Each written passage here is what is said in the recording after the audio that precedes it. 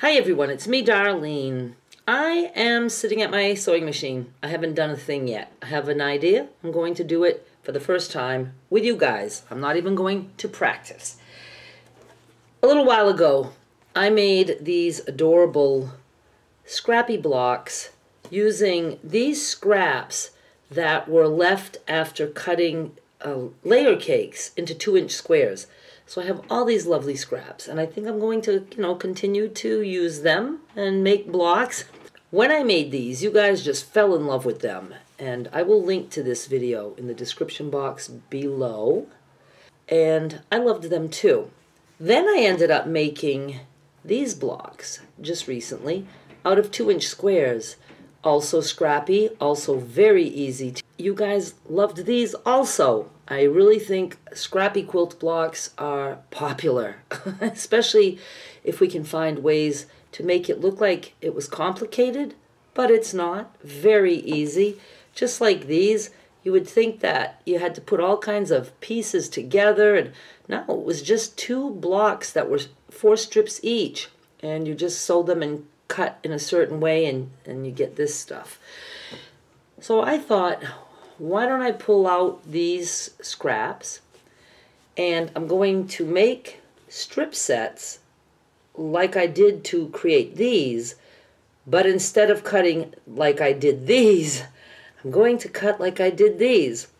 I don't think it will be as cute. I don't know. To my liking, I just love these so much because I have the squares and then, oh, the, you know, the little triangles around it. But we're going to try, right? That's what we're going to do. So I need eight strips, and it doesn't matter what size strips you use. They don't even have to be the same size. All you need is two blocks at the end that are the same size.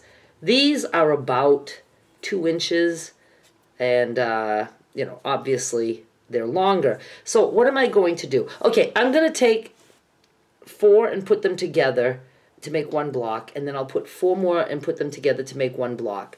And then I will determine how big they are after I measure the height of those. Okay, that sounds complicated. Let me pick out eight strips. In case you are wondering, these strips are a little under two inches tall, more like maybe one and three quarters, and almost eight inches wide. Again, it doesn't really matter. You could be using 10 narrower strips or whatever you want the whole idea is to play with things and practice and see what you like, right? But I have these scraps and I'm leaving them as is. So I'm going to sew these two together. This is for one of the blocks. Sew these two together and then I'll send these two together. And then I'll send the other block too. I'll show you that in a minute as soon as I have room.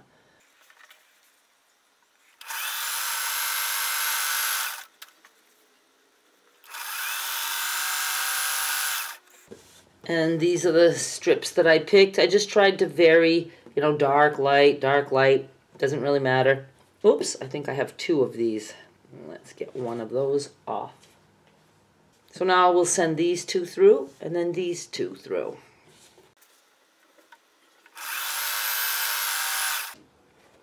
I'm going to take the other two off so I'll be able to start putting those together.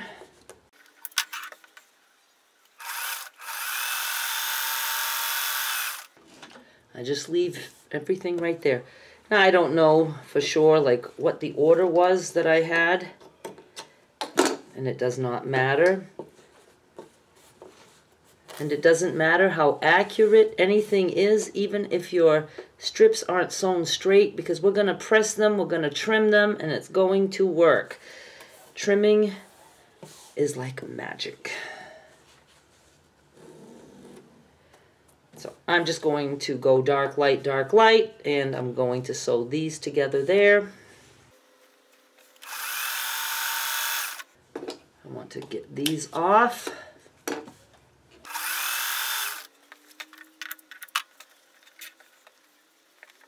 And again, I'm not exactly sure how I had this, and I, I really don't care.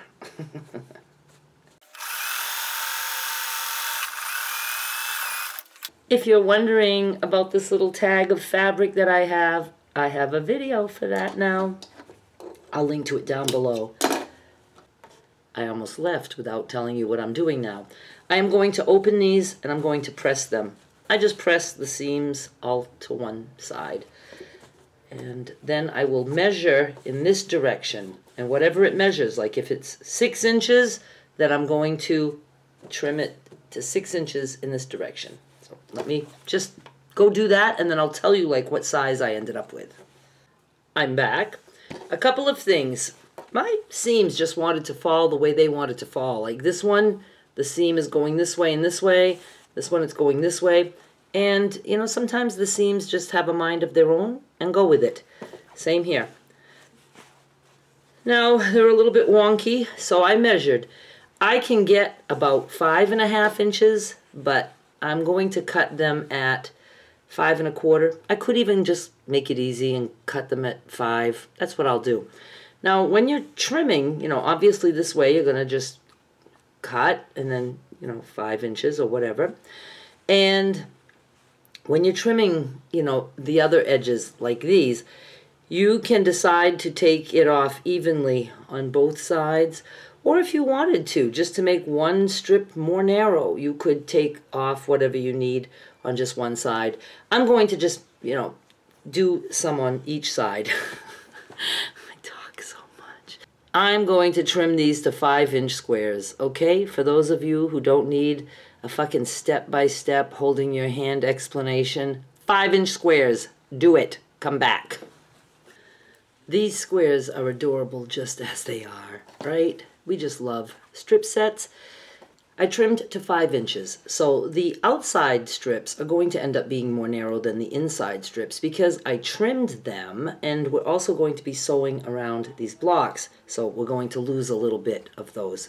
And that's okay because it'll just add to the scrappiness and wonkiness, right? Right, we like those things. And don't throw away these scraps. Put that in your crumb box because you have some nice crumb blocks already started here. Now we're going to put these together and cut them like we did these, okay?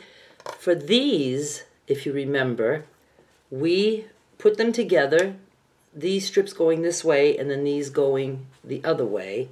So one vertical, one horizontal. And then we sewed all the way around and then we cut on the diagonal of both blocks in both directions and that gave us four little uh, quilt blocks. I can't remember what size we started with these, but go watch the video. I'll have it in the link in the description box. I'll have the link in the description box, I should say. This time we're going to, I guess, do the same thing. I don't know if I want to do like both vertical because I don't know how it's going to turn out. We can try that another time. But I'm going to do vertical and horizontal, right sides facing. And once again, we are going to sew all the way around, but then the cutting will be different. So let's get that step done, sewing all the way around.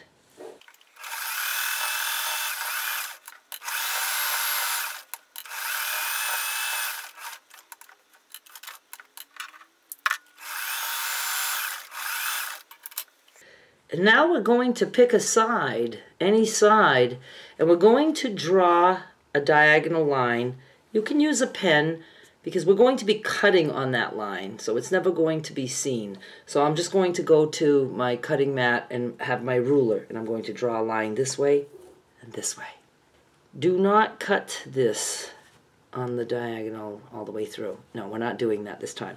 You're going to pull these two apart. You only want to cut on the line on the part that you drew the line. So what I do is I take a seam ripper and I just pull this apart. I make sure I don't put the seam ripper through both layers. I'm just going to stick the seam ripper in the top, the top layer a little bit. I can tell that's not through both. I'm going to make a little hole big enough to put my scissors. I'm going to stick my scissors in there and I'm just going to cut on the line in this direction. all the way to the corner and then I, I turn and go in the opposite direction. It's okay if it gets a little, uh, like where you made the hole, if it gets a little messy because That's going to get hidden in a seam allowance later when you put the block next to something else. And do the same in the on the other diagonal.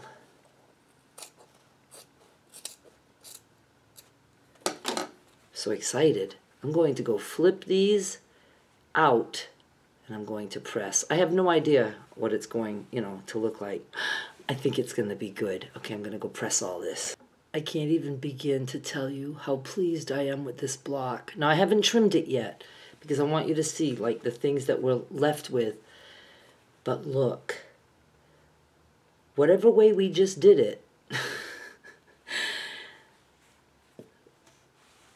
the strips are going in this direction and the strips here are going in this direction, up and down. So I love that.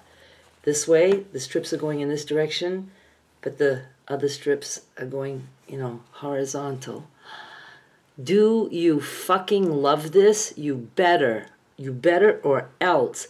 Now, had we put both of the squares in the same direction, then these would have also carried on in the same direction. And that too, I don't think I would have liked it as much. So do it exactly the way I did it, with one square going up and down, the other square going horizontal. And this is what we have. I just love it. Okay, now, so I'm going to trim and we do sometimes lose our points. Well, we don't sometimes. We're always going to lose our points in the seam allowance where you know where this magic happened and uh, let me just trim this but yeah we want to get rid of all these things and there's going to be little things like this happening just because of you know the strip sets and stuff like that I'm so happy trimming now it's funny how I didn't think I was going to love this one as much and I think I love it the most so far I just love this. I trimmed to six inches. All I had to do was take off about a quarter of an inch on each side. The strips I started out with were one and three quarters of an inch tall. And you'd need, I would say, six inches wide. So you have wiggle room when you want to trim those first two blocks that we made. You trim those to five inches and then you do all the rest of these steps. Now I want to tell you, you could just use two five inch squares. I sell a lot of five inch squares on my eBay store. So go look. The link is always in the description below this video or on the sidebar if you're on a device. And you could just put your two five inch squares together, sew all the way around, do the X on one and open them up like I did this. And it would just be two colors. It would be, you know, your center piece and then the four uh, triangles that it would create around it. So it's really an easy, a quick and easy way to sew quilt blocks. And then you would be able to trim those down uh, to six inches like I just did. Beautiful. I love it. Just do. Now I'm going to take a couple of pictures and I will do a little slideshow at the end of this video with what some people think is very irritating music. Thank you so much for watching. I will be back with more soon. Bye.